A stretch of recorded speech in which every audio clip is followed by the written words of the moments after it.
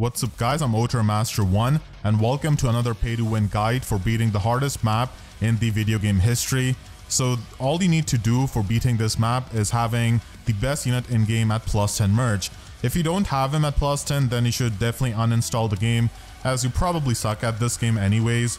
And I love using Brave Hector because he can kill all of the Fire Emblem characters which I absolutely hate, like Eldigan, Ares, Seliph, and that trash healer Mercedes.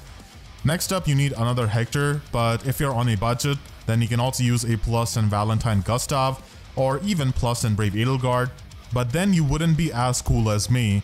He has got a support with himself because Brother Fafnir told me to love yourself the most. I don't have resplendent stats on him because I feel like Feh Pass is just too cheap for my standard. It should at least be $200 per month. You also need Forma Lasuna and make sure your Lasuna has got blue stars. I really hated when they gave the free Forma Soul to free-to-play players. I think that free-to-play players should be content with just arena medals. But in any case, you just need to have these blue stars.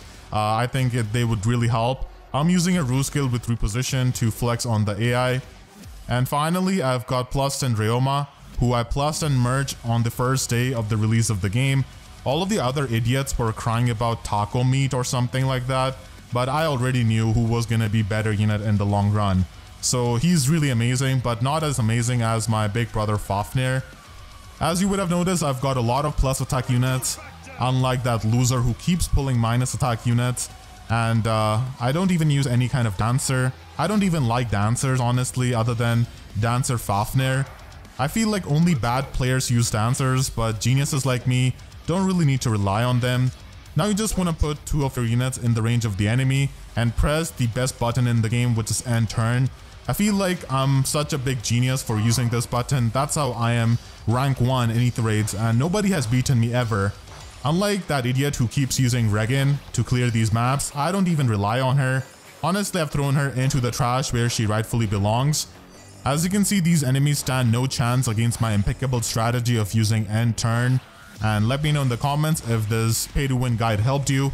If you answer no, I will block you. If you're a woman named Note, then I will also block you.